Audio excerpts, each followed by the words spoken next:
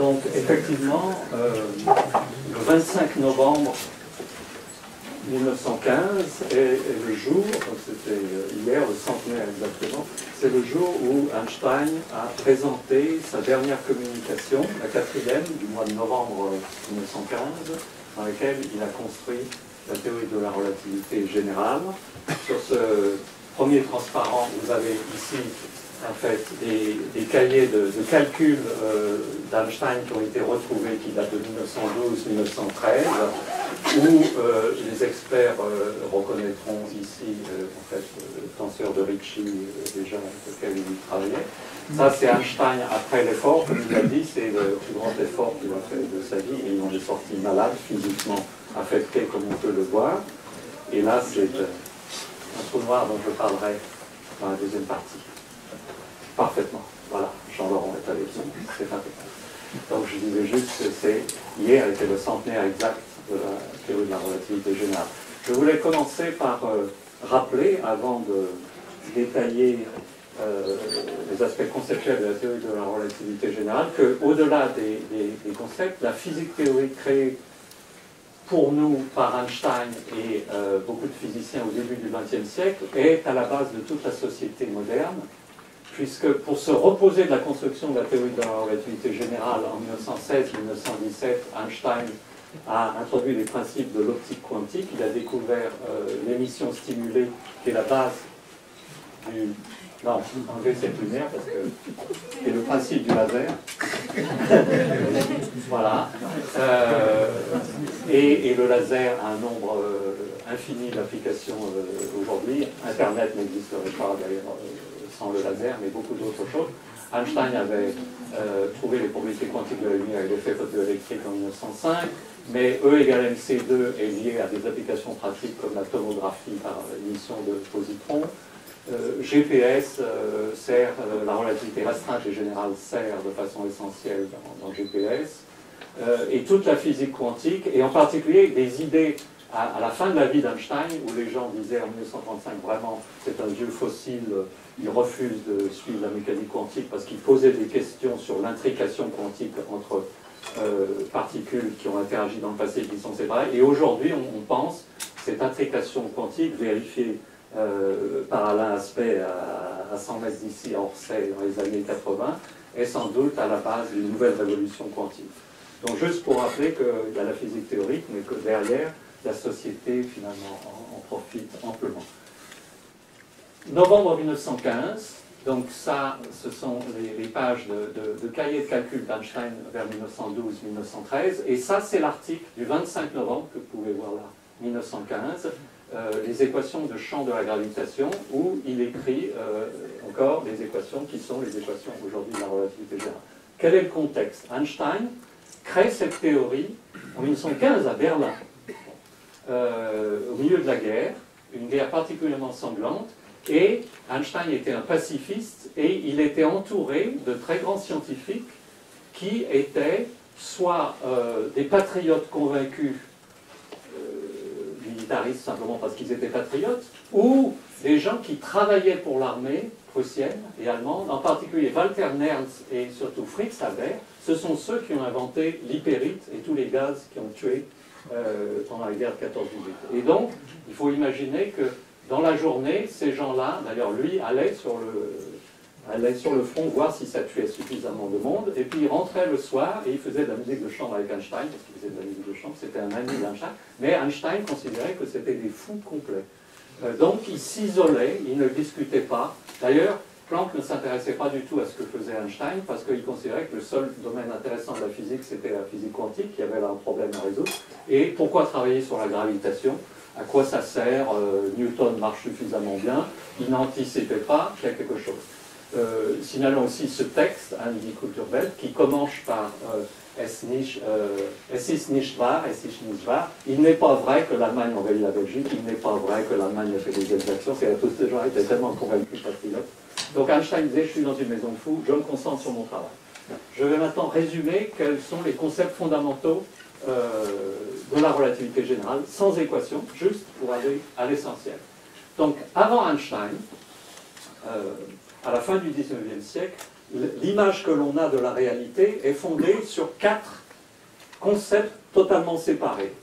Le concept d'espace, l'espace tridimensionnel, donné a priori, avec la géométrie euclidienne qu'on apprend à l'école, voilà, c'est donné, ça, ça préexiste.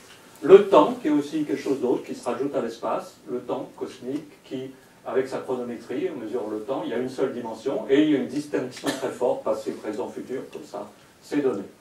Euh, et euh, il y a la matière, euh, dont la pérennité est mesurée par la masse, c'est Lavoisier, rien ne se perd, tout se transforme. La masse mesurait la permanence de la matière, et on commençait à penser qu'il y avait peut-être quelque chose comme des atomes, même si la plupart des gens étaient contre. L'électron a été découvert en 1897. donc c'est le début de ce qu'on appelle les particules. En revanche, on connaissait déjà que entre les particules de matière, il faut des choses pour qu'il se passe des choses intéressantes en physique, et il y avait des forces. On connaissait la gravitation depuis longtemps, mais aussi les forces électriques, magnétiques, qui avaient été unifiées dans l'électromagnétisme. Et déjà, on ne pensait plus les forces comme en général des forces à distance, comme deux corps qui s'attirent, mais chaque, euh, chaque corps crée, euh, modifie l'espace autour de lui, c'est le champ, comme le champ magnétique, le champ électrique, et donc euh, la notion de force commençait à être remplacée par la notion de champ. Mais essentiellement, il y avait ces quatre concepts même séparés.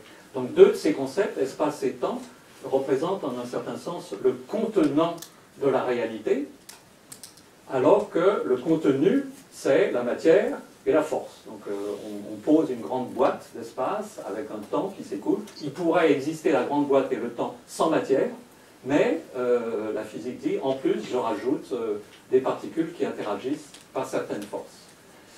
Eh bien, c'est euh, l'essentiel de la physique du XXe siècle va être de modifier et d'unifier ces quatre concepts séparés. La première unification euh, date de 1905, c'est la théorie de la relativité restreinte, du euh, Einstein et d'autres, Poincaré, Lorentz, Minkowski ont joué un rôle important, et consiste à dire que ces deux catégories a priori complètement séparées d'espace et temps doivent être unifiées dans un nouveau concept d'espace-temps qui est aussi un bloc donné a priori, mais qui a quatre dimensions, et qui a une certaine géométrie, c'est-à-dire au lieu d'avoir le théorème de Pythagore qui dit que le carré de l'hypoténuse est toujours la somme des carrés des deux côtés perpendiculaires, dans l'espace-temps, si vous avez un côté qui est dirigé dans le temps et l'autre qui est dans l'espace, le carré de l'hypoténuse est égal à la différence des carrés. Mais à part ça, c'est une géométrie euh, euh, assez simple.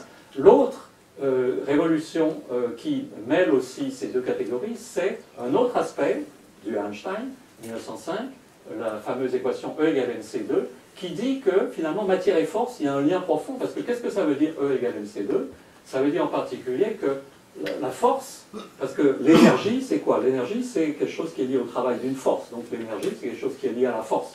Alors que la matière, c'était la masse, la pérennité de la matière. Donc là où elle est, dire E égale mc2, ça veut dire qu'il y a identité entre la force et la matière, en un certain sens ce que ça veut... Euh, ah oui, je ne vais pas rentrer là-dedans. Voilà. Euh, la relativité générale, euh, elle, elle a une unification double, de double niveau, c'est-à-dire, je viens de dire, la relativité restreinte unifie espace et temps en un seul nouveau bloc qui est l'espace-temps. elle unifie matière et énergie dans quelque chose de nouveau qui est ce E égale mc2, c'est ce qu'on appelle la masse-énergie. Et la théorie de la relativité générale va maintenant unifier ces deux unifications par bloc en disant que le contenu matériel de la réalité, cette matière-énergie, E égale mc2, va déformer le contenant espace-temps.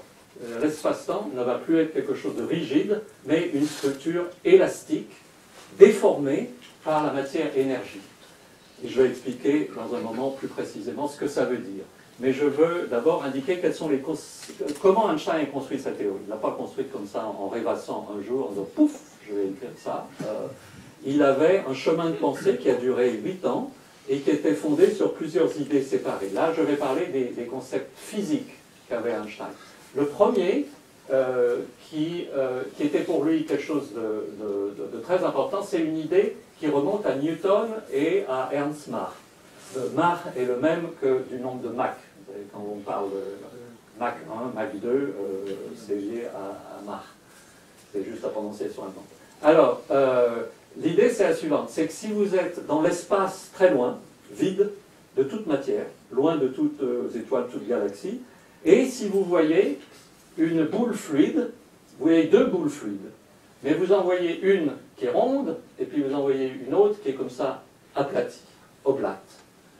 Euh, Newton dirait, la raison pour laquelle l'oblate est oblate, c'est qu'en fait, c'est une boule qui tourne.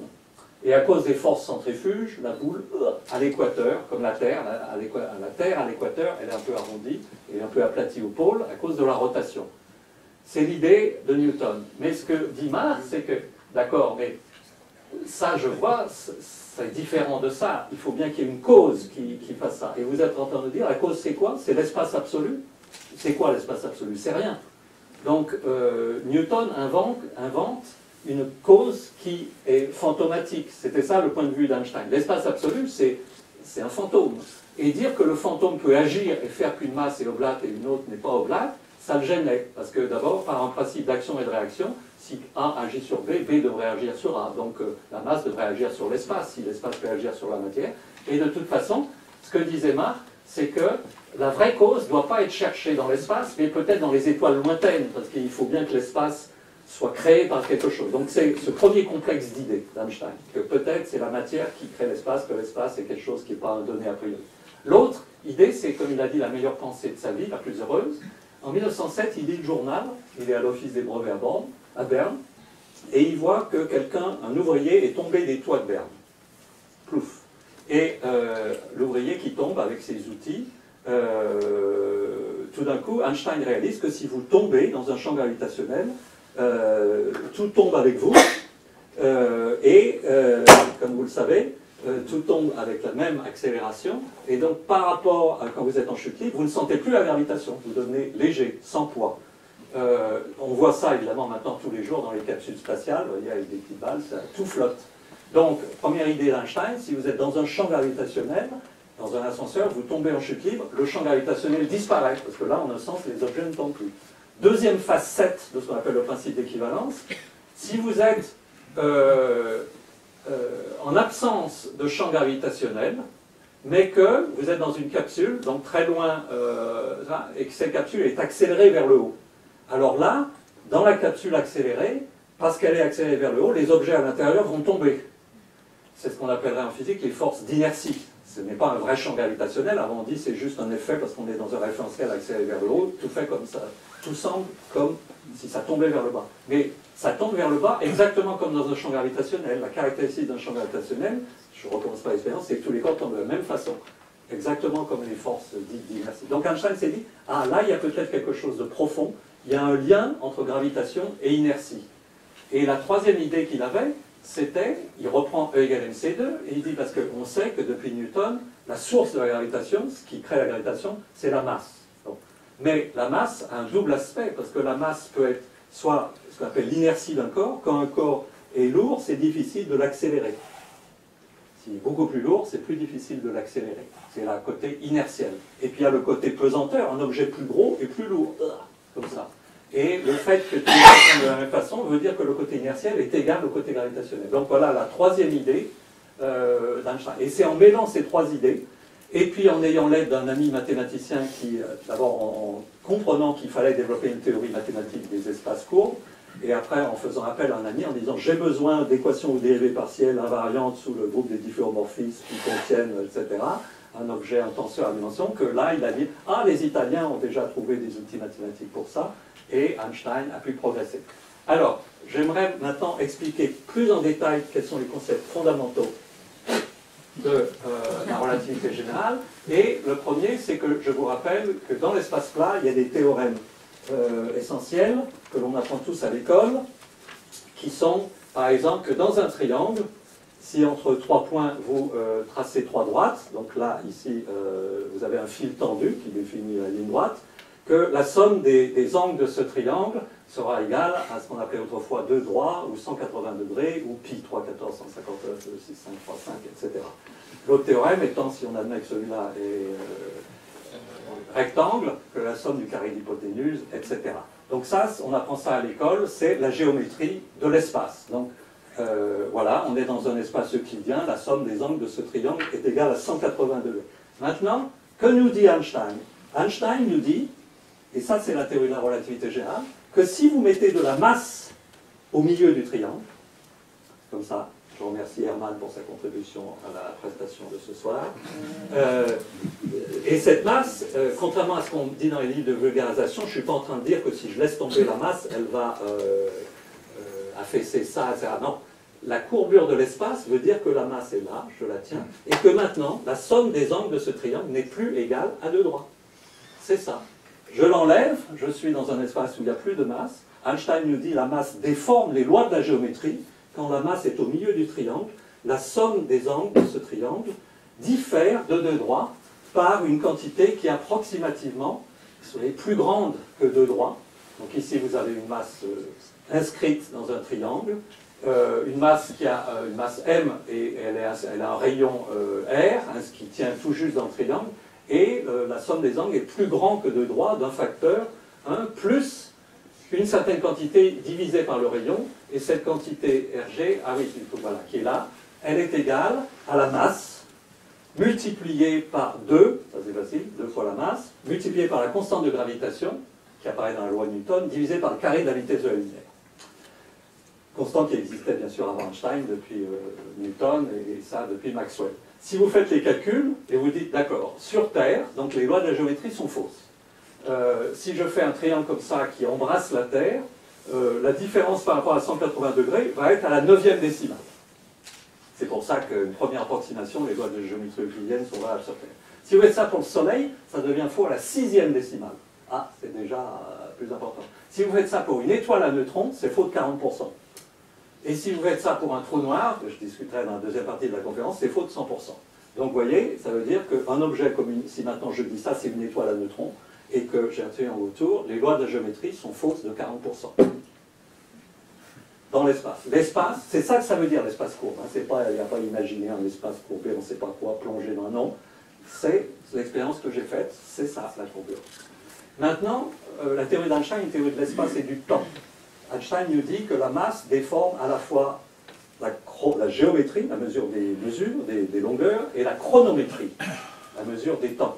Qu'est-ce que ça veut dire? Ça veut dire si je reprends une boule, une masse m de rayon r, et que je compare comment une horloge située à la surface de cette boule ou très loin, comment elle tic-tac, en comparant les deux, je peux envoyer un signal euh, électromagnétique pour comparer, où je regarde, je suis là et je regarde l'autre horloge et je vois si elle tic-tac, je la vois en bas, si elle eh elle, elle ne tic-tac pas à la même vitesse.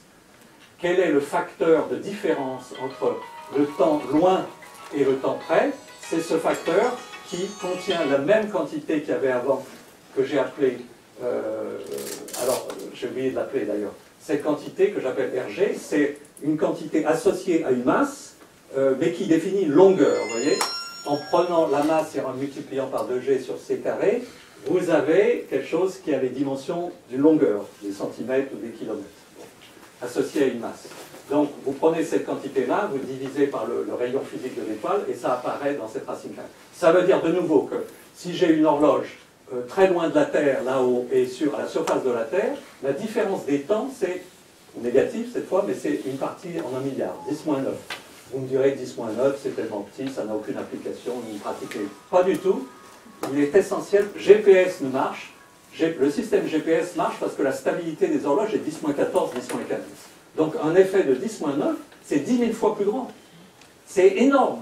Si vous ne mettez pas dans le logiciel la relativité générale qui a un facteur 10 9, euh, en une minute et demie, GPS ne fonctionne plus parce qu'un effet 10 9, c'est 10 000 fois trop grand pour la stabilité. Donc euh, ça, décale complètement. Si vous faites ça pour le Soleil, c'est 10 6. Si vous faites ça pour une étoile à neutrons, c'est à peu près le même calcul qu'avant, vous voyez, ça veut dire que le temps s'écoule 23% plus lentement, si l'on veut, à la surface d'une étoile. Et si vous prenez un trou noir, on va voir pour un trou noir, cette quantité-là est nulle. Ça veut dire que formellement, euh, le temps ne s'écoule pas à la surface d'un trou noir. En tout cas, à l'époque, euh, des grands artistes s'intéressaient à la science. Proust s'intéressait à Einstein, mais Dali aussi s'intéressait à l'espace-temps. Et euh, explicitement, Dali dit que ces fameuses montres molles, il les appelait, lui, le camembert du temps et de l'espace. C'est-à-dire c'était une allusion directe, c'était une façon pour lui de penser la modification du temps par champ. Donc ça, c'était vraiment euh, la façon intuitive de comprendre, euh, mais plus qu'intuitive, c'est vraiment, euh, souvenez-vous-en, c'est la relativité générale, ça change la géométrie par la masse.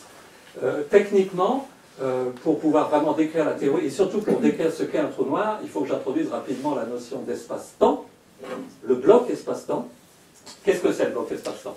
Introduit par ces trois personnes. Ça consiste à dire que, ah bah oui, si je reprends euh, ma table. Donc s'il y a des êtres qui vivent sur euh, un espace à seulement deux dimensions, c'est plus simple. Donc pour eux, l'espace à tout moment, euh, c'est ce qui là-dessus, ce qui vit là-dessus. Et si vous avez deux de ces objets qui bougent, par exemple une boule comme ça, et l'autre qui bouge, et, qui se cogne et qui repart sans sens À chaque moment, vous avez les deux objets qui sont,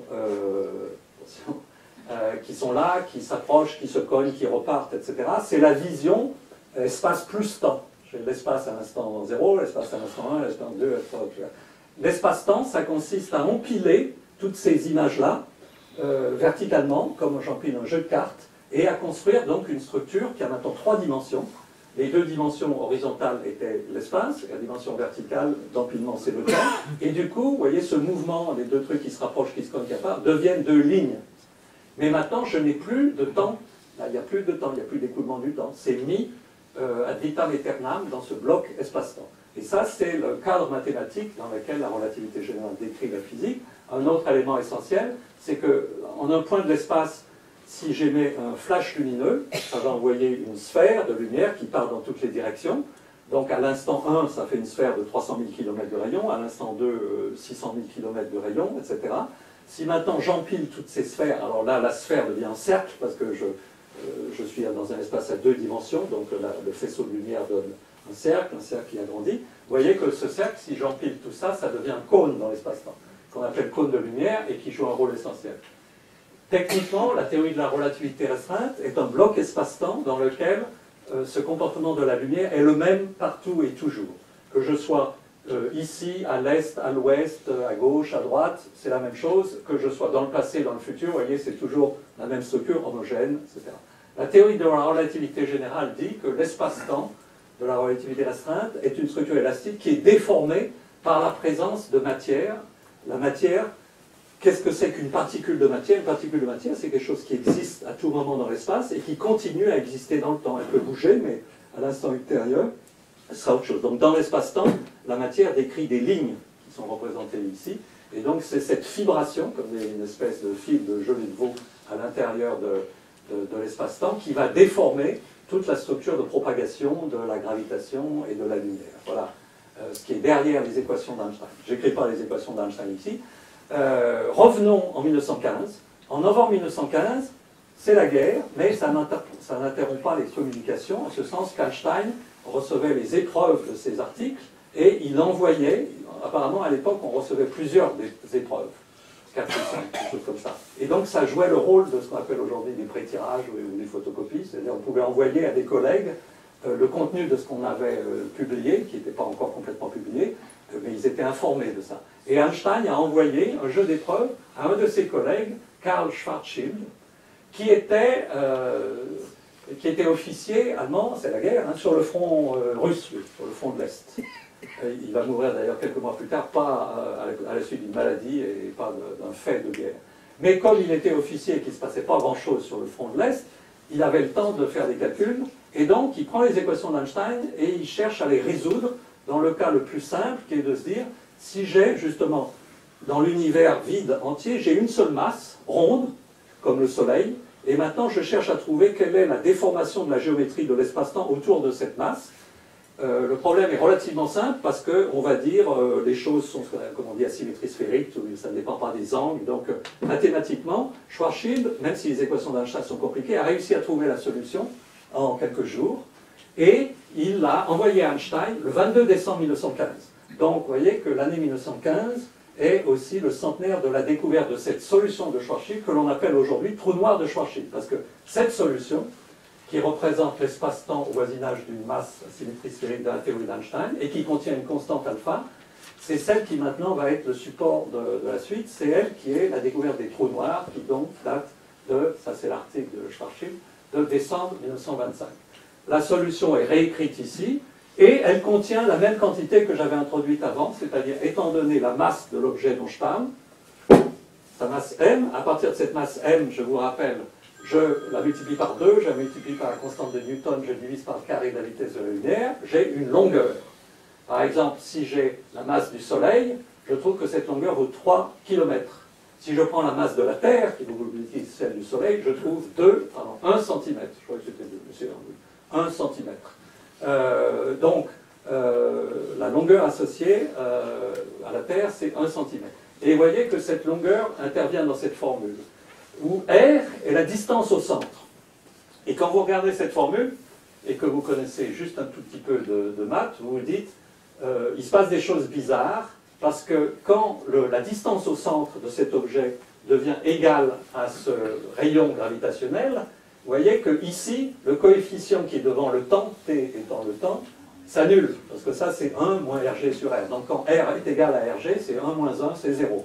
C'était ça la, contraction des temps dont je parlais avant, il y avait un facteur racine carré, c'était à cause de ça. Donc là déjà, ça dit, c'est si un objet a une masse telle que le rayon gravitationnel associé, euh, je peux pénétrer jusqu'à ce rayon gravitationnel, donc le r, la distance peut être égale au rg, il se passe des choses bizarres à ce rayon-là, le temps s'arrête.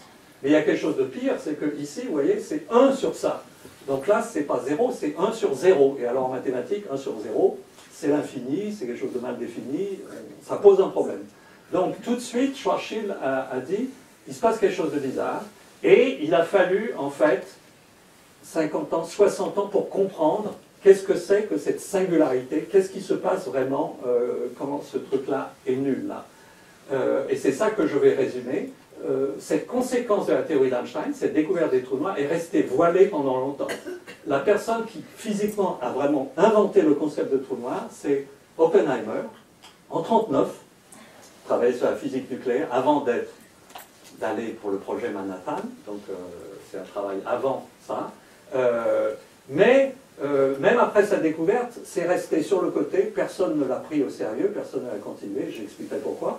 Et euh, la théorie des trous noirs, euh, on a commencé à prendre au sérieux les trous noirs dans l'école russe par Doroshkevich, Zeldovich et Novikov à partir de la fin des années 60, puis euh, au Canada, à Princeton, Wheeler et à Cambridge, Roger Penrose. Je ne vais pas discuter ici le fait qu'on peut avoir un florilège de citations de gens qui à un moment ont dit le trou noir est impossible pour telle et telle raison, parce qu'en fait, c'est pas qu'on leur disait voilà, j'ai inventé le trou noir, tout est clair, est-ce que vous êtes d'accord euh, Non, je suis contre ou je suis pour. Non, c'est que le concept n'était pas encore dégagé. Euh, et donc, euh, tout le monde savait, il se passe des choses,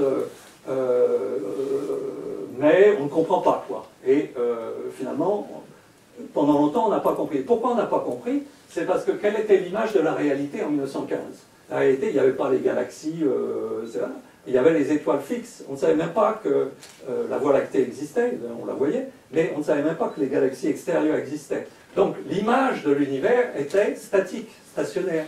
Les étoiles, elles tournent, mais à part ça, c'est les mêmes sur des milliers d'années, elles bougent un tout petit peu. Donc l'image qu'on avait, c'est que les étoiles sont éternelles.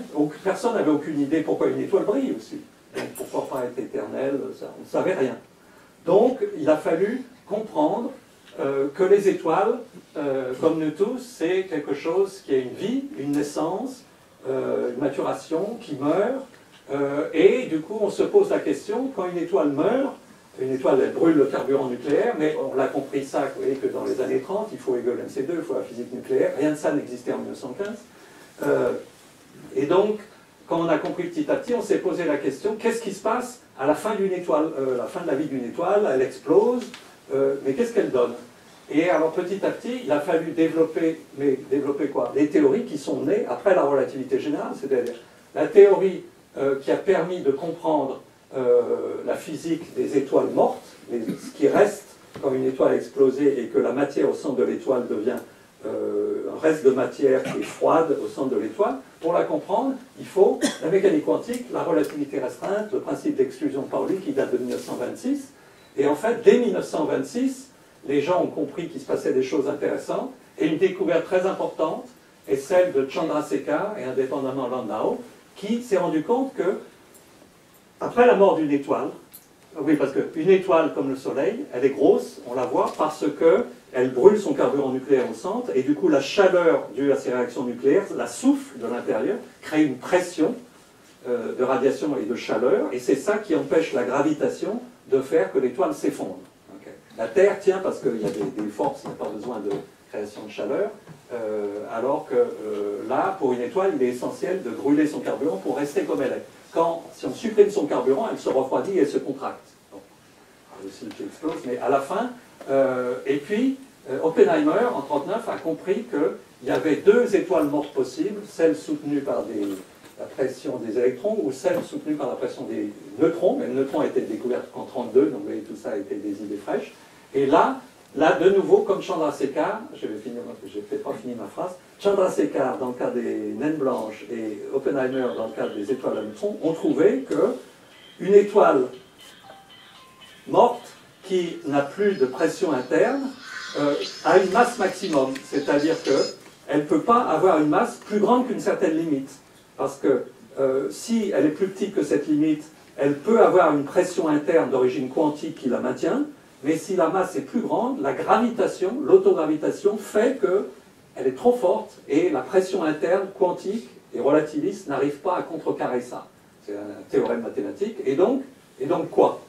Et donc ça veut dire, euh, c'est une toile, qu'est-ce qui se passe? Et pendant longtemps, j'ai dit, on ne sait pas, ou alors euh, on refuse de voir les choses. Et puis Oppenheimer a dit, eh bien, ça va s'effondrer et ça va donner lieu à la solution de Schwarzschild. Et lui, le premier, a dit ça crée euh, une nouvelle structure qui est le collapse continu. Mais dans l'intervalle, il a fallu d'autres choses parce que tout ça, c'était encore. Ça n'avait pas de rapport avec le monde réel. Les gens imaginaient les neutrons. On avait découvert le neutron en 32. Mais le neutron, il ne sert à rien dans la nature en général. La matière autour de nous, euh, ils sont cachés au, milieu des noyaux. Euh, ce n'est que à partir des années 34, Bade et Zwicky ont fait l'hypothèse qu'il existerait peut-être des étoiles à neutrons, des étoiles faites de neutrons. Mais c'est un objet hypothétique. Le début où on s'est mis à comprendre que ça existait, c'est par la découverte des quasars, ces objets très lointains et très brillants, qui restent d'ailleurs en partie mystérieux, on pense aujourd'hui que c'est des trous noirs, et surtout par la découverte des pulsars en 1967. Parce que assez rapidement, on a compris que les pulsars, c'était des étoiles à neutrons qui tournent. Surtout quand on a découvert au centre de la supernova de 1054, euh, supernova du crabe, un pulsar. Parce que là, on savait qu'une étoile avait explosé en 1054. Et donc, il devait rester le cœur de l'étoile au centre. Et qu'est-ce qu'on voit? On voit un pulsar. Donc tout ça, ça colle. On se dit, ah donc, il existe bien des étoiles à neutrons créées par le collapse des étoiles.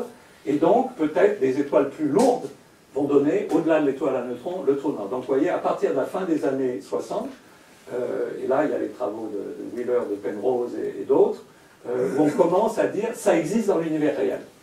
Bien. Maintenant, j'ai dit trou noir, trou noir, mais pour le moment, j'ai juste dit solution de Schwarzschild. Maintenant, je veux définir un trou noir général.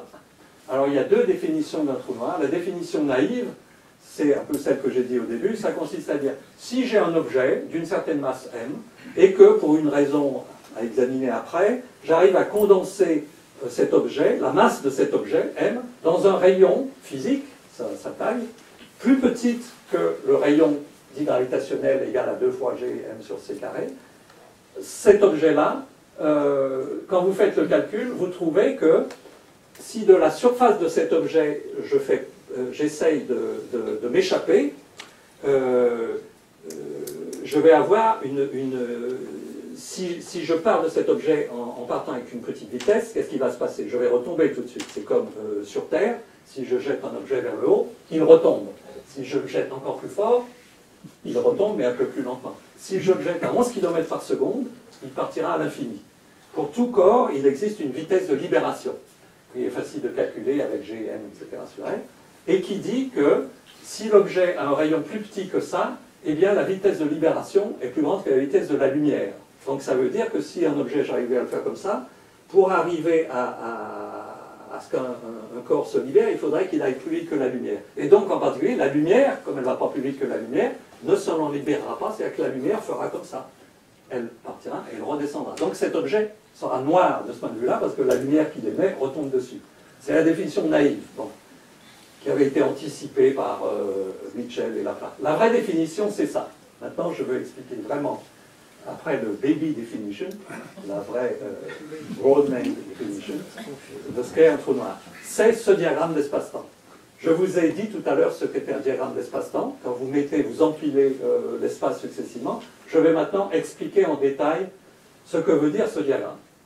Ce diagramme, euh, ce qui est dessiné ici, à l'instant initial, d'abord c'est un diagramme d'espace-temps où évidemment j'ai supprimé une dimension d'espace, j'ai eu deux dimensions d'espace, comme ça, et une dimension de temps. Donc je parle d'objet à deux dimensions. L'objet à deux dimensions ici, c'est une étoile. Donc évidemment, ça doit être une boule. Donc au départ, j'ai l'étoile qui est comme ça, et puis pour une raison X, elle est en fin de vie, et elle n'a plus assez de pression interne pour résister. Donc qu'est-ce qu'elle va faire? Elle tombe sur elle-même, elle s'écroule. C'est ça qui est représenté là. Vous voyez, à l'instant 0, elle est là, à l'instant 1, elle est un peu plus petite, à l'instant 2, elle est encore plus petite, et puis ça s'accélère. Le truc s'effondre. Ça, c'est une étoile en effondrement. Mais le point important, c'est qu'elle va déformer l'espace-temps maintenant.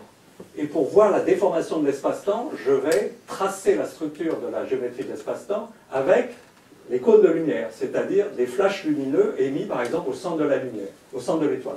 Donc ici, si au début de l'effondrement, c'est-à-dire juste au moment où l'étoile commence à effondrer, j'envoie un rayon lumineux du centre de l'étoile, en fait, vous voyez, ce rayon lumineux, il part à la vitesse de la lumière, il s'évase un peu, ça veut dire qu'il est ralenti, lui aussi, la gravitation est ralentie par la gravitation, mais il finit par sortir.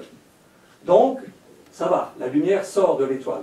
Mais un peu plus tard, vous voyez, ce rayon lumineux, il part, il part, il part, et au lieu de s'évaser et de partir à l'infini, euh, donc le rayon, pour voir le rayon lumineux, je vous rappelle, hein, il faut couper à tout moment, c'est comme un flash lumineux, mais vous voyez, ce flash lumineux, il fait du surplace finalement.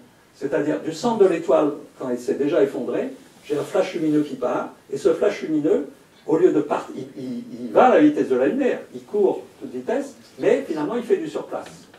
La façon intuitive de comprendre ça, c'est que c'est comme, vous savez, euh, un insecte qui est euh, dans une baignoire dont vous avez ouvert la bonde, et l'eau coule de la baignoire, l'insecte essaye de sortir le plus vite possible, il va à la vitesse de la lumière, et mais l'eau coule aussi vite que lui.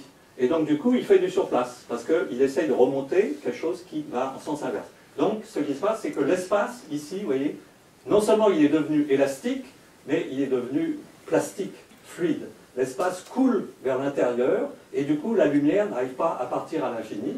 Et du coup, ça crée cette structure qu'on appelle surface du trou noir, ou horizon, qui est quoi? Qui est une bulle, une bulle de lumière, qui, localement, si localement vous êtes là et vous dites, bon, je vais regarder cette bulle de lumière, je vais mesurer sa vitesse, vous verrez qu'elle part à la vitesse de la lumière.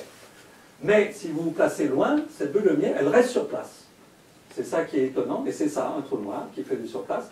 Mais la chose la plus intéressante, c'est que ça continue parce que la matière, où est-ce qu'elle est allée, la matière Elle continue à s'effondrer, vous voyez, elle est là, la matière. Et puis, si j'émets un rayon lumineux après ce dernier rayon lumineux qui fait du surplace, ben les autres, ils ne font pas du surplace. Ils deviennent de plus en plus petits, ils s'effondrent. Et ça va jusqu'à quoi? Jusqu'à cette zone noirâtre, là.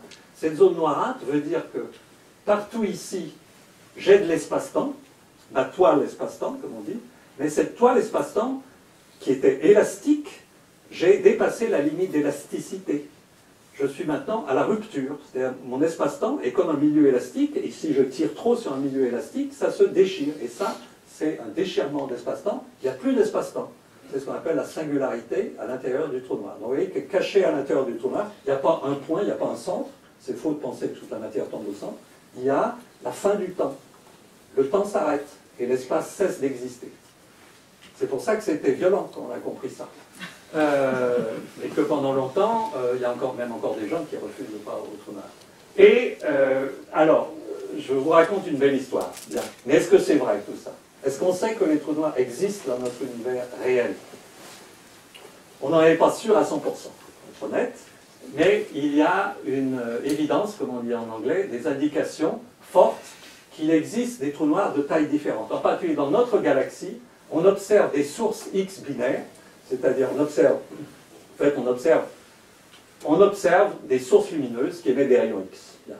En faisant, on observe aussi que juste à côté de cette source lumineuse qui émet des rayons X, on voit une étoile assez grosse, en général euh, âgée, euh, par exemple ici couleur rouge, etc. Et on observe que l'étoile tourne, on voit ça par effet Doppler, et aussi les rayons X, on peut le voir. Donc, on a un système binaire. Et si maintenant, on ne voit pas, on se dit donc, il doit y avoir un autre objet. On trouve que cet autre objet, il y a l'étoile qui mesure, euh, qui a quelques masses solaires. Son compagnon, on trouve que ça a une masse de 10, 15 euh, masses solaires, quelque chose comme ça. Et maintenant, par des mesures, vous apercevez que tout ça doit être condensé dans un petit rayon. Et maintenant, on ne sait pas faire une étoile ou n'importe quel objet qui condense 15 fois la masse du Soleil dans un petit rayon. Une étoile à neutrons ne peut pas dépasser 3 fois la masse. Donc indirectement, on en conclut, si j'ai une étoile concentrée dans un rayon petit, ça doit être un trou noir. Et un trou noir, parce que c'est un trou, il peut bouffer comme, euh, comme une menthe religieuse.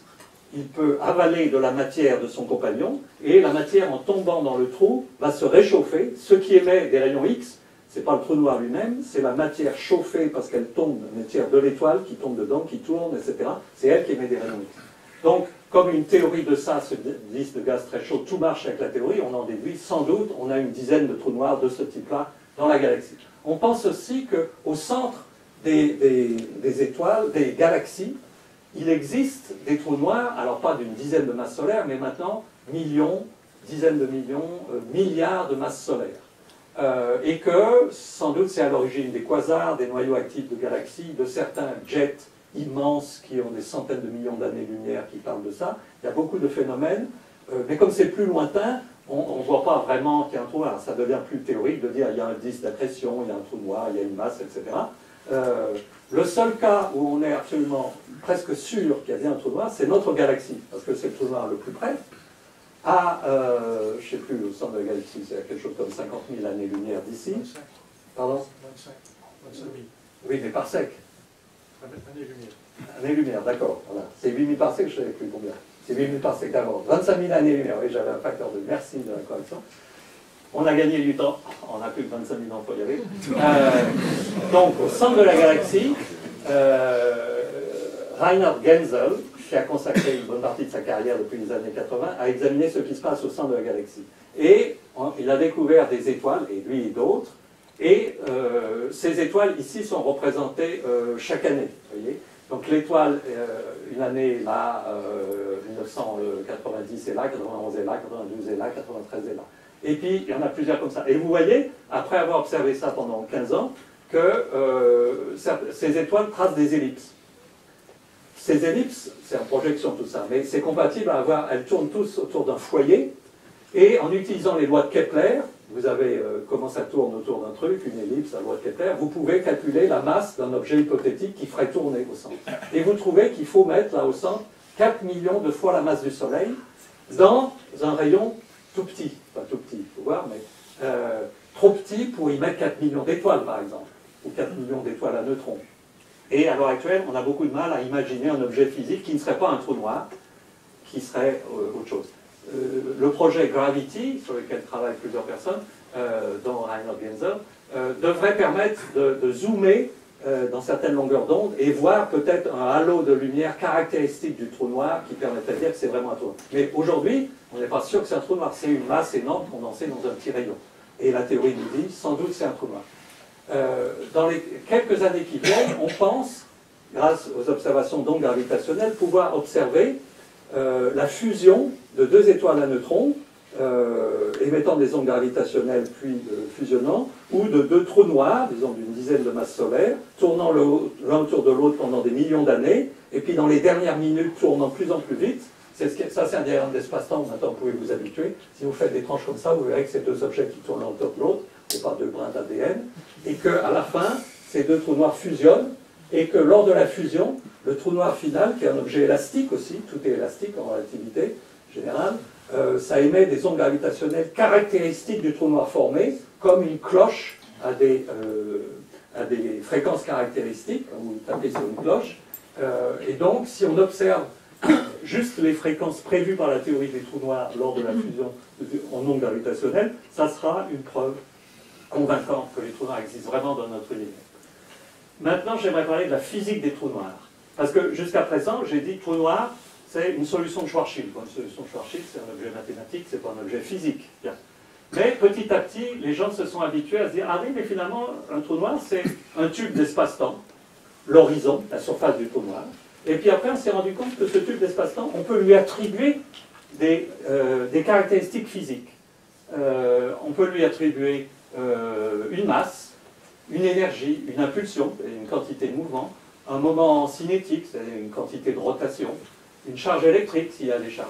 Et en étudiant la, thermodynamique et l'énergétique des, trous noirs, en fait, euh, un jeune grec, euh, Démétrios Christodoulou, euh, qui avait à l'époque 19 ans, c'était en 1970, a trouvé, et en partie en collaboration avec son thesis advisor, Raymond Ruffini, que euh, les trous noirs étaient les plus grands réservoirs d'énergie de l'univers. C'est-à-dire, un trou noir qui tourne, un objet qui tourne, en général, a une énergie liée à sa rotation. Et si je l'arrête, il y a de l'énergie que je peux essayer de, sortir. Et eh bien, un trou noir qui tourne aussi a de l'énergie liée à sa rotation, mais cette énergie, pour un trou noir, peut être jusqu'à 29% de MC2. Alors que l'énergie de rotation d'un corps qui tourne comme ça, c'est 10-9 de MC2 ou 10-20 de MC2, c'est zéro. Là, 29%, c'est les plus grands réservoirs d'énergie euh, de l'univers, beaucoup plus que l'énergie nucléaire. Si on pouvait avoir un tournoi qui tourne vite euh, au voisinage de nous, ça serait une source d'énergie pour l'humanité pour des milliards d'années. Après, euh, en regardant les choses de plus près, on a découvert qu'il y avait une irréversibilité cachée dans les trous noirs, que certaines quantités, en particulier l'air de l'horizon, la surface du trou noir, mesurée en centimètres carrés, ne peut qu'augmenter. Si vous, si vous faites rentrer un objet dans le trou noir, sa surface va augmenter. Et il n'y a pas une façon d'envoyer quelque chose d'autre pour qu'elle diminue. Ça va toujours dans un seul sens. Or, en physique, il y a une quantité qui augmente toujours, c'est l'entropie. Donc déjà, à l'époque, ça sujet à est-ce que les réversibilités est bien quelque chose? Le premier principe de la thermodynamique était vrai aussi. On a trouvé aussi, ça c'était mes premiers travaux, qu'un trou noir est analogue à une surface métallique conductrice de l'électricité. Il a une résistance de 30 ohms environ, mais une résistivité surfacique égale rigoureusement à 377 ohms. 377 ohms, plus quelque chose, ça veut dire 4 pi en fait, parce qu'il se trouve que 4 pi vaut 377 ohms. Voilà. J'ai appris ça à l'école normale supérieure euh, grâce aux leçons de Rocard, père, Yves Rocard, il disait toujours 30 ohms est égal à la vitesse de la lumière, or tout le monde sait que la vitesse de la lumière est égale à 1 donc 30 ohms est égal à 1. Donc, comme j'avais trouvé que la résistivité d'un trou noir vaut 4 pi, ça permet de dire c'est qui est plus sexy. Euh, noir est aussi un fluide visqueux qui satisfait une équation de Navier-Stokes avec une viscosité qui est là. L'unité de viscosité euh, étant moins sexy que le je n'ai pas pu transformer le 1 sur 16 pi en, en Navier ou quelque chose comme ça. Euh, mais les propriétés les plus intéressantes ont été découvertes par, avant par euh, un jeune euh, israélien, enfin, pardon, un jeune euh, mexicain qui était à Princeton et qui après allait en Israël, Jacob Bekenstein, qui aurait dû être là ces semaines-ci. Il avait prévu de venir ici à l'IHES pour discuter, en particulier avec Slava Mouranov et moi. Il est mort malheureusement cet été d'une crise cardiaque, relativement jeune. Et c'est lui le premier qui a dit Ah, mais ces côtés, cette irréversibilité du trou noir suggère vraiment un trou noir doit avoir une entropie, je vais expliquer ce que c'est l'entropie tout de suite, et une température. Et alors quand il a dit température, le grand spécialiste de Cambridge du trou noir de l'époque, euh, Stephen Hawking, a dit c'est de la connerie, je vais montrer que tout ce que dit Jacob Bekenstein est totalement faux, comment peut-il dire des choses comme ça Il a fait un calcul, et il s'est aperçu à la fin de ce calcul que Bekenstein avait raison, c'est-à-dire euh, mais il était vraiment contre. Il voulait montrer que ce que dit Wittgenstein était faux. Le calcul de Stephen Hawking consistait à dire je regarde la théorie quantique des champs dans l'espace-temps d'un trou noir. C'est des gros mots là, mais je vais expliquer ce que ça veut dire. Euh, en théorie quantique des champs, vous pouvez soit. Il y a plusieurs façons d'expliquer les choses, mais une façon de le dire, c'est que euh, c'est un milieu qui fourmille de paires virtuelles, particules-antiparticules, qui naissent, qui meurent, qui naissent, qui meurent, etc. Mais si vous créez une paire particule-antiparticule juste sur l'horizon, avec une paire, un à l'intérieur, l'autre à l'extérieur, au lieu de, de, naître et de se recombiner pour disparaître, ce serait one loop, vous voyez que ça peut sortir à cause de la gravitation, il y en a un qui peut partir à l'infini et l'autre tomber dedans. Et du coup, comme ça, il a trouvé qu'il y avait un phénomène quantique et que le trou noir, il émettait de la chaleur tout le temps, parce que ça, ça veut dire que le trou noir émet. Il en sort de la lumière. Et il a trouvé la, température de cette lumière, et cette température était pile ce qu'il fallait pour que la, prédiction de Wittgenstein soit vraie. Et associé à cette température, on peut associer une entropie qui est justement proportionnelle. Vous voyez, c'est une belle formule. cette entropie, elle contient la vitesse de la lumière, la constante de, Planck, la vitesse, la constante de gravitation, donc les grandes constantes fondamentales de la physique, l'air du trou noir qui avait été montré par Christodoulou et Ruffini et par Hawking de toujours augmenter. Donc effectivement, la quantité qui augmente est bien une entropie, mais euh, il fallait trouver ces conditions, et le 1 quart, qui était en fait le côté difficile du calcul. Entropie, entropie, qu'est-ce que ça veut dire? Entropie, je vous rappelle ce que ça veut dire, c'est une mesure du désordre d'un système physique. Quand on dit l'entropie augmente tout le temps en physique, ça veut dire que le désordre augmente. Ce que les mères de famille savent, c'est que si par exemple elles rangent bien les jouets de leurs enfants en disant voilà, je t'ai préparé mon chéri les jouets ici dans la pièce, euh, les enfants arrivent et foutent des jouets partout, et quand ils sortent, il y a des jouets partout dans la pièce. Il y avait de l'ordre au début, ça finit en désordre. Plus techniquement, si vous avez un gaz, dans cette pièce, il y a un gaz. Ce gaz est réparti partout. C'est du désordre en fait, parce que du coup on ne sait pas où est le gaz. Partons d'une situation d'ordre. Je mets toutes les molécules de gaz dans un coin, un petit coin, et puis en plus je les mets avec des vitesses un peu particulières. Comme ça, je sais quelque chose sur le système. Mais comme les enfants dans la pièce, je lâche le gaz. Qu'est-ce qui va se passer? Les molécules vont partir partout, et au bout d'un temps assez bref, la pièce, vous voyez, ça s'évolue, la pièce va être pleine du même nombre de, de molécules de gaz, mais maintenant, au lieu d'être localisées quelque part, elles sont partout dans le volume, et leurs vitesses aussi sont aléatoires. Donc, ça veut dire que le nombre de configurations possibles pour le gaz est beaucoup plus grand qu'avant, parce que maintenant, je peux mettre une molécule là, une molécule là, ou alors une là, une là, une là, il y a beaucoup plus de possibilités, elle va à telle vitesse, telle vitesse, telle vitesse. Je peux compter le nombre de configurations, et l'entropie, c'est, donc ça c'est le concept découvert par Boltzmann en 1877, un grand physicien autrichien, l'entropie est égale au logarithme du nombre de configurations microscopiques.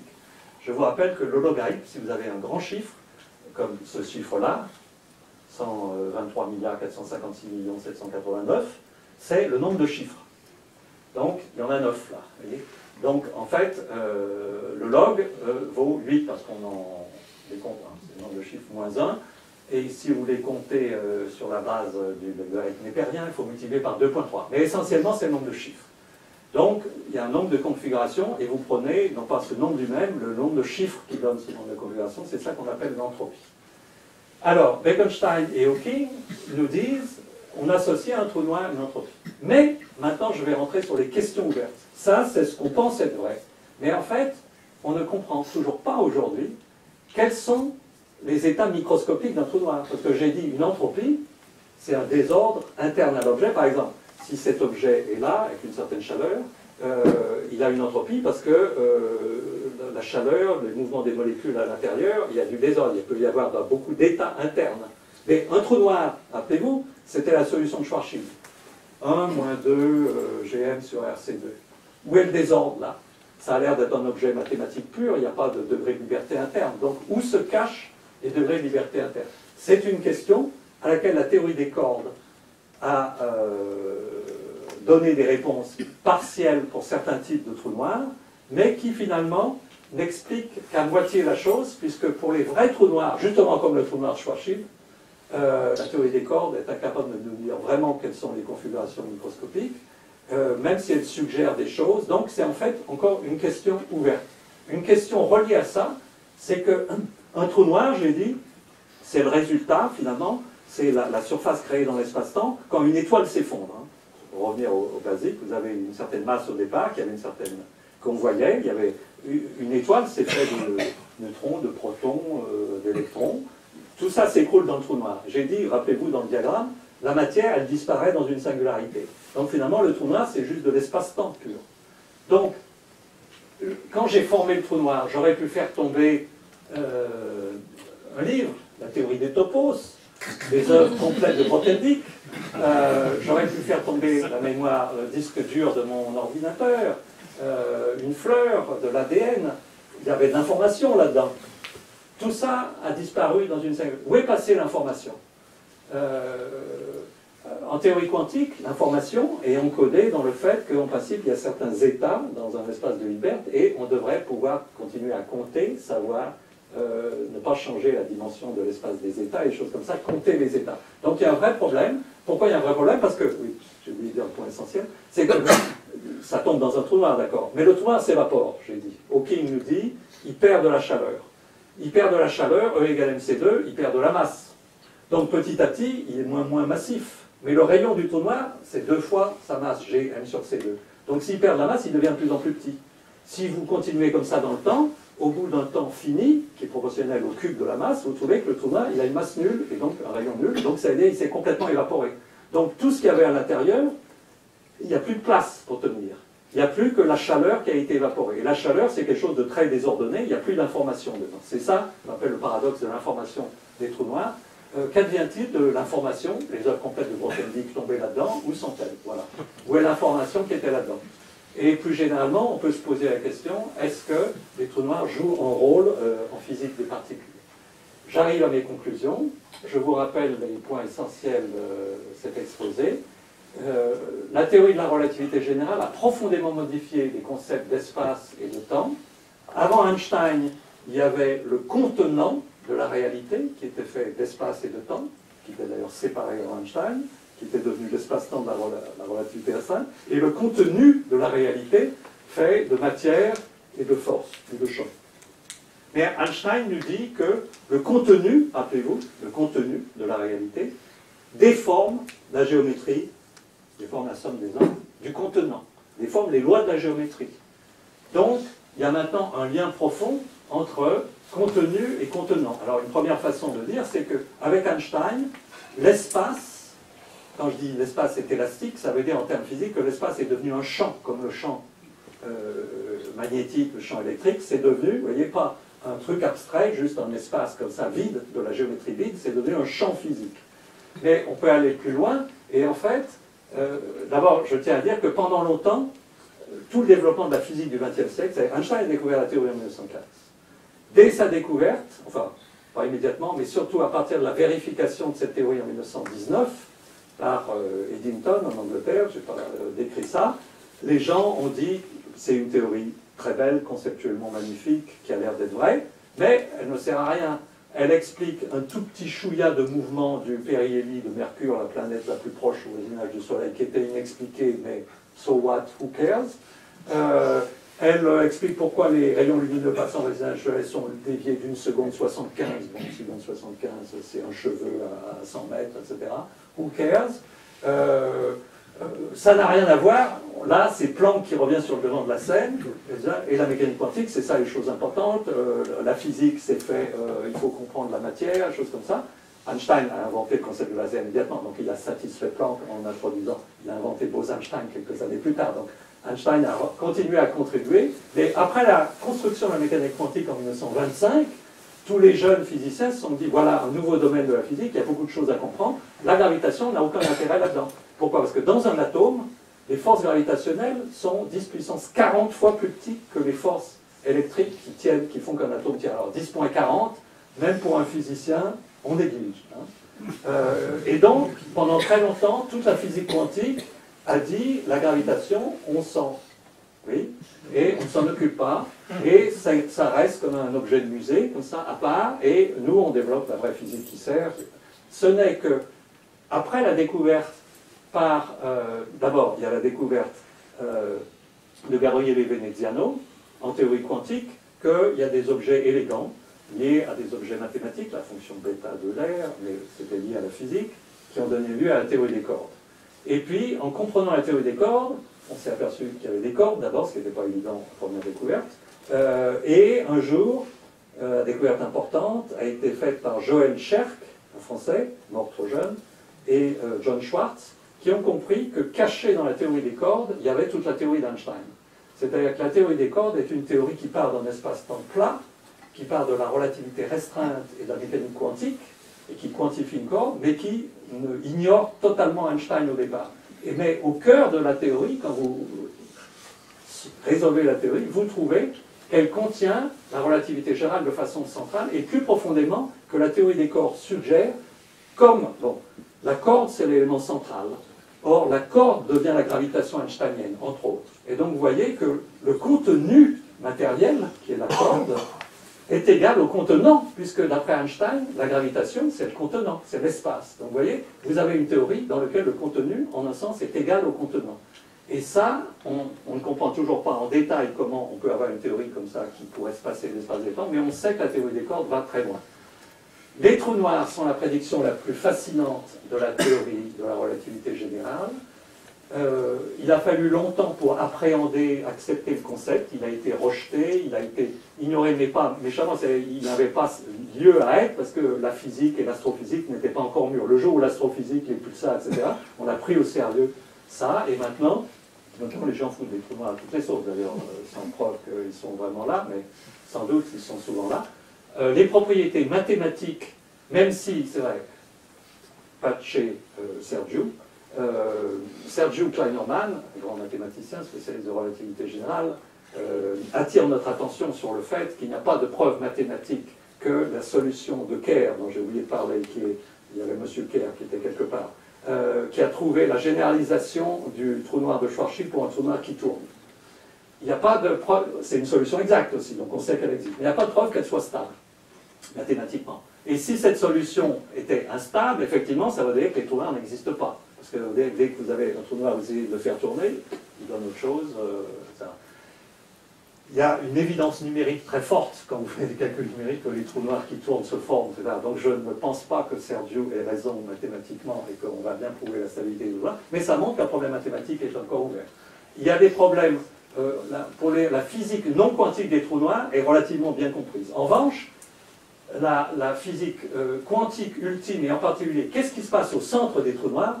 Je vous rappelle euh, ici le centre du trou noir, là, voilà. Quand la toile espace-temps se déchire, euh, qu'est-ce qui se passe là? Le substratum, qu'est-ce qui remplace l'espace-temps? Euh, On pense qu'il y a sans doute quelque chose en dessous de l'espace-temps, quelque chose de plus primitif que l'espace-temps. Et à ce propos, j'aimerais finir en rappelant une phrase prophétique d'Einstein, parce que Einstein était considéré comme un vieux fossile à la fin de sa vie, mais en fait, il avait une vision en avance de ses contemporains, et une partie de sa vision qu'il a exprimée le 14 avril 1954, c'est-à-dire pratiquement jour pour jour, un an avant sa mort, dernier séminaire devant un petit collège d'étudiants et quelques profs à Princeton, ce d'autres, je connais les gens qui étaient là à séminaire, donc euh, j'ai pu avoir des renseignements précis euh, sur euh, ce qui s'est passé. Einstein a dit, en passant, il y a beaucoup de raisons pour être attiré vers une théorie qui ne contient ni espace ni temps. Ça, c'est une vision fantastique, parce qu'aujourd'hui, en 2015, en théorie des cordes, on parle espace-temps émergence qui est au-delà de l'espace-temps. Mais en, 1954, euh, Einstein était le seul au monde à avoir peut-être une vision au-delà de l'espace-temps, au-delà de la relativité générale. Il faudrait une théorie sans espace ni temps. Donc c'était euh, fascinant de voir. Mais comme il était très pragmatique, il ajoutait, mais personne ne sait comment construire une telle théorie, donc on continue avec l'espace-temps. Et malheureusement, cette dernière partie est encore en partie vraie, c'est-à-dire même si un certain nombre de personnes dans votre serviteur essayent de développer, de euh, comprendre ce qui se passe quand il n'y a plus d'espace ni temps, tout ça, c'est peut-être euh, des pensées en l'air, il n'y a en tout cas pas de preuve que ça sert à quelque chose. Merci de votre attention.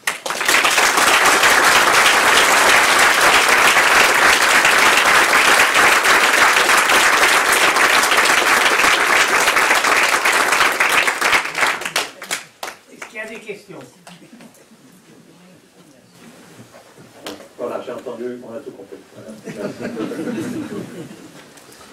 j'ai deux questions. Il y en a une, c'est ce que, ce que tu as dit sur le, euh, calcul de la résistance mm -hmm. noir et de la viscosité. Ça, c'est des constantes universelles qui sont indépendantes de la masse? Alors, il se trouve... Euh, oui, exactement. Euh, effectivement, ce, mais disons d'ailleurs, c'est indépendant de la masse. C'est 30 ohms, c'est-à-dire 1 en fait, indépendamment de la masse. Euh, mais ce que ça veut dire, c'est que si on fait rentrer un courant électrique par le pôle nord d'un trou noir, euh, et je fais sortir le courant électrique par le pôle sud. Alors vous me direz, rien ne sort d'un trou noir, vous avez dit.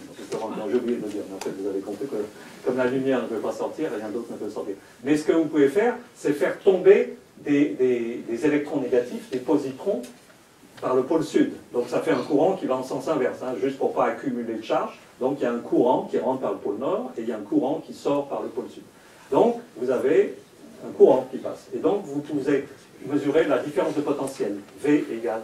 Et la loi d'Ohm, j'ai démontré, est vraie, c'est-à-dire V est égal à RI.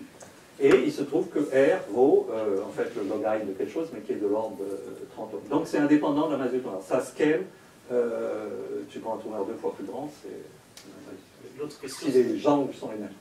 Quand tu as dit euh, on observe, on essaye de trouver des trous en observant des ondes gravitationnelles, oui. comment est-ce qu'on fait pour observer Bonne question. Alors les détecteurs...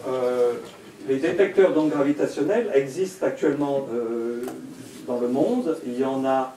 Euh, la meilleure technique, ce sont des interféromètres. Donc, ce sont des, tubes de 3 ou 4 km de long, dans lesquels on a fait le vide et dans lesquels on fait passer un rayon lumineux. Le tube sert juste à avoir du vide. Hein.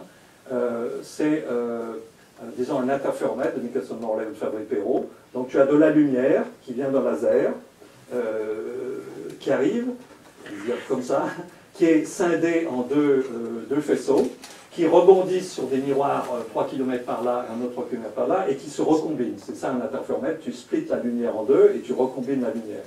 Si la géométrie, si une onde gravitationnelle passe, ça veut dire que la géométrie fluctue.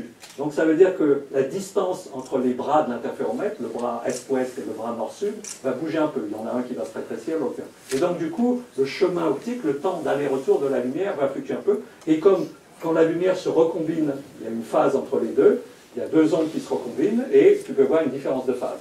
Et c'est une façon très sensible de mesurer des déplacements. Et, et ce qu'on veut mesurer, alors effectivement c'est assez effrayant, on veut mesurer un déplacement physique qui vaut euh, euh, quelque chose comme 10 moins 18 cm, c'est-à-dire quelque chose de beaucoup plus petit qu'une particule élémentaire, mais euh, par des effets cohérents, un miroir macroscopique, on arrive à, mesurer sa position à quelque chose de beaucoup plus petit euh, qu'un proton, en fait. Euh, et donc, quand les ces détecteurs existent, ils viennent d'être remis en route avec une sensibilité améliorée, pour le moment d'un facteur 3, qui va devenir amélioré d'un facteur 10 dans les deux ans qui viennent.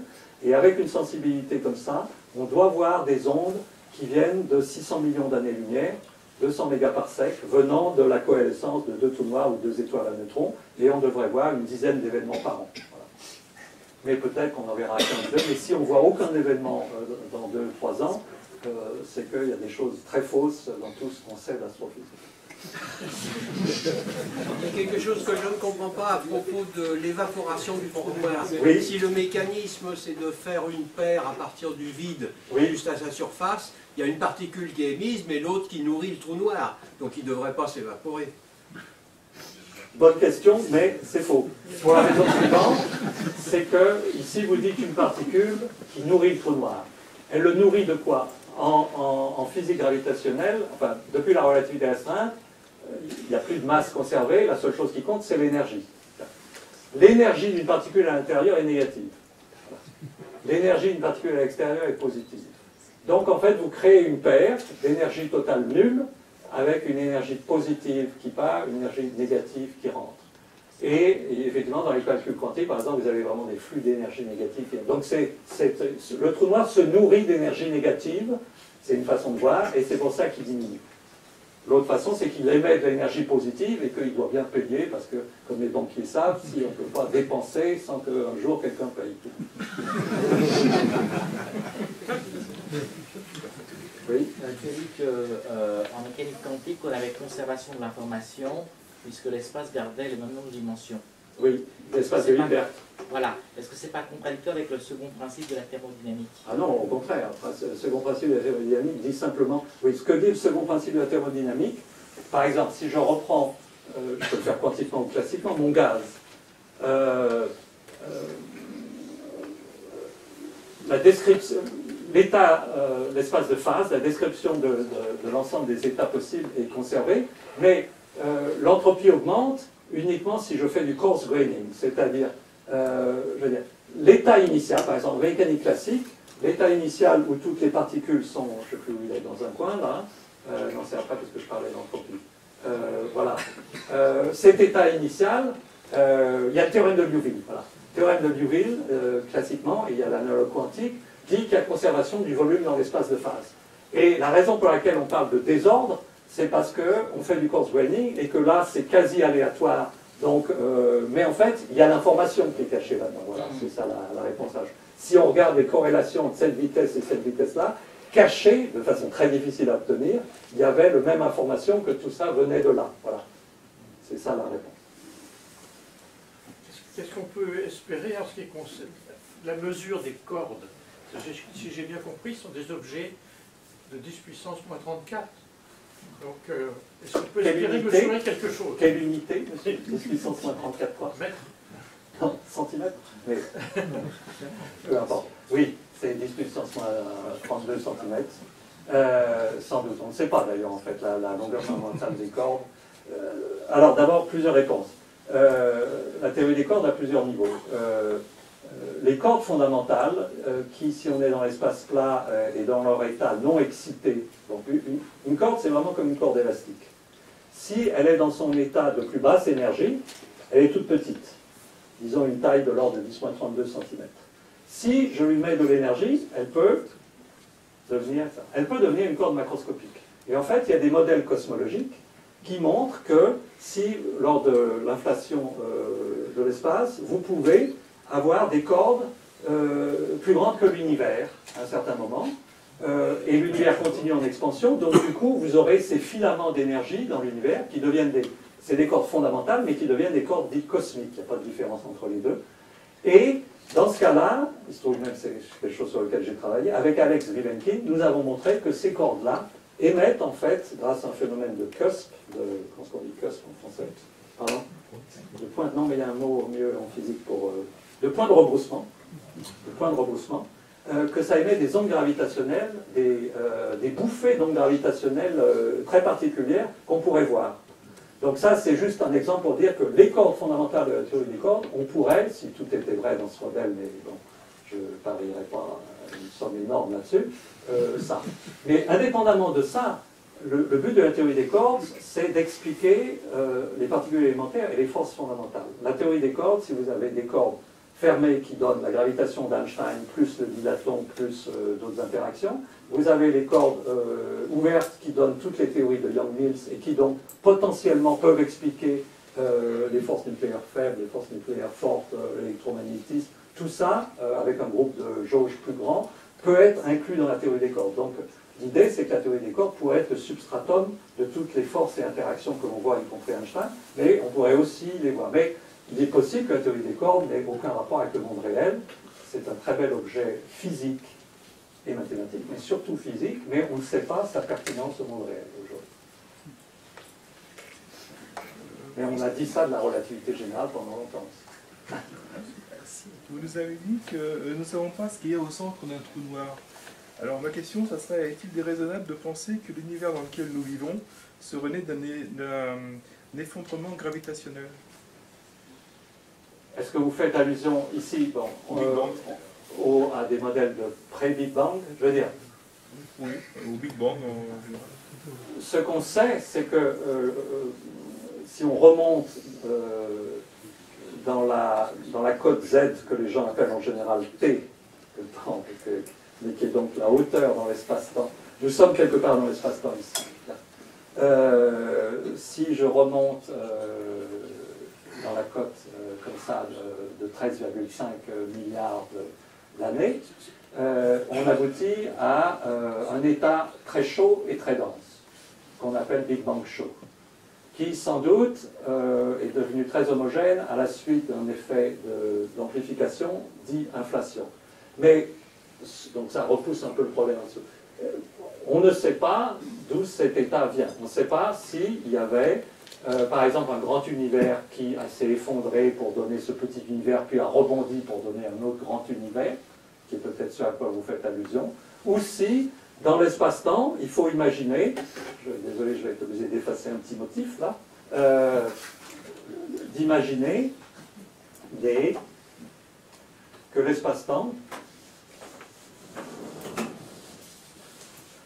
c'est euh, une structure qui a un ou plusieurs euh, euh, Big Bang et Big Crunch, et des choses, des choses assez compliquées, avec des bouts de l'espace-temps. Donc là, euh, l'espace-temps classique s'arrête, là l'espace-temps classique s'arrête, là l'espace-temps classique s'arrête. Nous sommes là, Et donc pour nous, nous disons, ça c'est tout notre univers.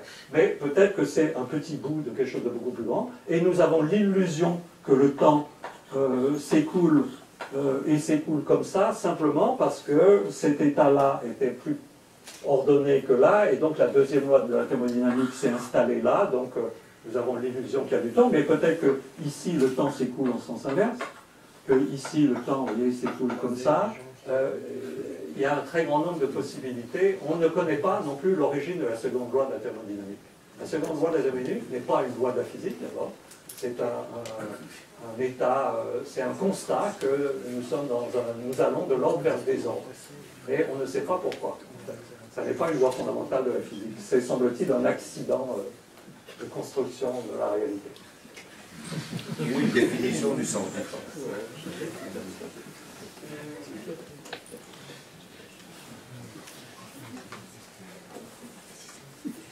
Pourquoi on a l'impression parfois que le, hasard n'existe pas? Euh, En physique, le hasard n'existe pas. Les lois de la physique sont déterministes, surtout euh, en physique classique, bien sûr, relativité restreinte relativité générale, mais même en physique quantique, où euh, si on interprète la physique quantique de la bonne façon, tout est déterminé. Puisque l'équation de Schrödinger détermine l'état quantique futur à partir de l'état du passé. Et que le hasard quantique est une illusion de euh, certains appareils euh, qui ne mesurent, prennent des mesures partielles. C'est un peu comme le course graining dont je parlais avant. la mesure ne fait que projeter un sous-morceau de la fonction d'onde totale, donc on perd de l'information et on a l'impression que le hasard apparaît. Donc le hasard est une illusion. Comme tout le reste. ce qui n'est pas une illusion, c'est que nous allons avoir un excellent concert maintenant. Thank you.